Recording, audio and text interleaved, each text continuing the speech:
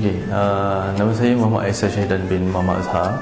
Saya bekerja di PS Food and Beverage uh, untuk uh, food kira dalam bidang kos ni lah marketing. Apa yang saya belajar hari ni dapat uh, more input lah buat marketing sebab saya baru nak belajar so baru nak start from zero knowledge. So hopefully dengan apa yang dapat belajar hari ni saya boleh apply untuk future lah untuk for the company ha, dapat bagi macam terapkan dalam company lah rasa lebih confident lah ha, lebih confident dengan lebih banyak output ha, so macam rasa lebih tertarik dengan marketing lah ha.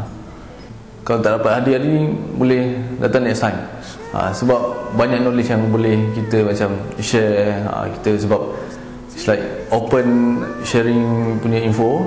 So boleh gather knowledge boleh share boleh uh, discuss together.